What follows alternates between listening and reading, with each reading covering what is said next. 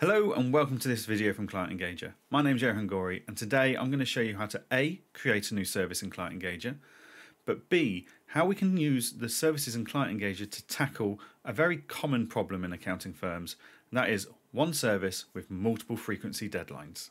So let's get into Client Engager, we'll have a look at our demo account and work out how we can do this. Okay, here we are in Client Engager in our demo account. So first of all, we're going to go over to settings and we're going to go down to services.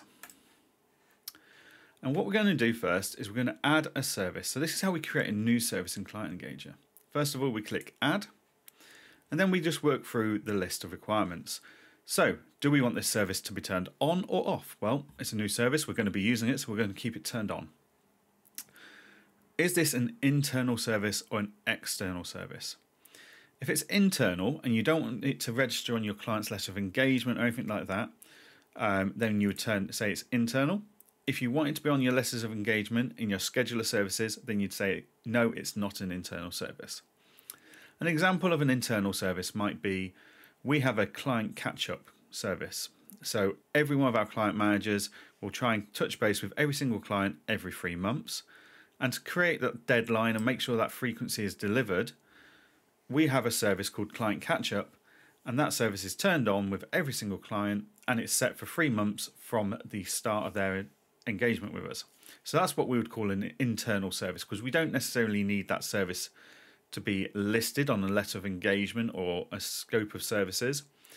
And we wouldn't also want to necessarily charge for that service, so we would just turn it on as an internal service. We'd then carry on through this list. Do we have a checklist we want to use? Yes or no? Does the service need to be MTD registered? Yes or no? So this is only relevant for MTD VAT at the moment you might turn it on eventually for ITSA uh, in the next few years. Do we need agent authorization for this service? So PAYE, VAT, corporation tax, things like that, we would want those that turned on for. We can link the service to a billable service in QuickBooks if we wanted to. And then we just go through and fill out the boxes. So we'll call this one client catch up it will system will automatically give it a short name. We can then set a default fee if we want to. Then we can also set the default frequency. This is the billing frequency, not the service frequency. So I'm just going to say, well, we'll bill this monthly. That's fine. We can then build out our pricing structure for this using our pricing equations. If it's an external service, we'd then be asked to select a scheduler services. So this is what service, what schedule needs to be attached to the letter of engagement when this service is turned on. Then we'd set the default frequency of the work. So as I said, this is client catch up and we want this to happen every three months. So we've done that. Then we'd build out the phases. And we can assign that to people, etc. And then we're going to press save. That service is then added to the bottom of our service list here. And we can drag that up to be anywhere in the service list we want. So that's how you add a new service. Now, the reason I've shown you that first is because that's important for the next step.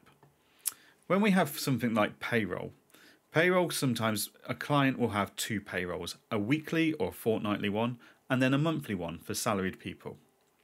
So obviously having a payroll service that can only have one frequency on is a bit of a challenge. So what I would suggest, and the fix we have for this in our own firm, is that you have two payroll services created. One could be just your, your normal payroll service that is already pre, pre-built into this.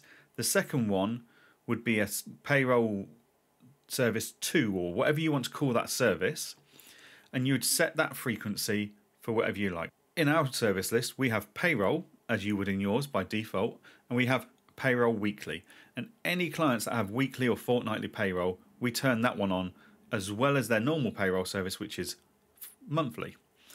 So that way, we can have two different payroll deadlines going through on the same client because we have two services.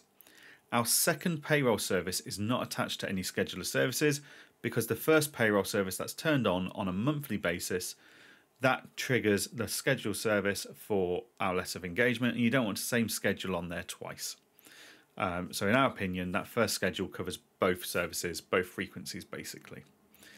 So that's how we would do this. Another example where we have the same service on there twice is bookkeeping. So all of our clients have monthly bookkeeping. And in that process, we go through all their banks, their sales, their expenses.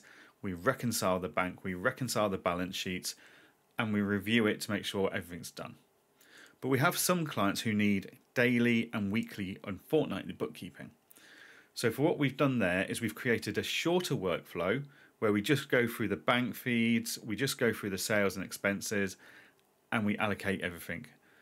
And then when we come to do that service on a month, at the end of the month, or whenever we're going to do it as a monthly service, we've got the monthly bookkeeping service that's got a more detailed workflow, which every client has.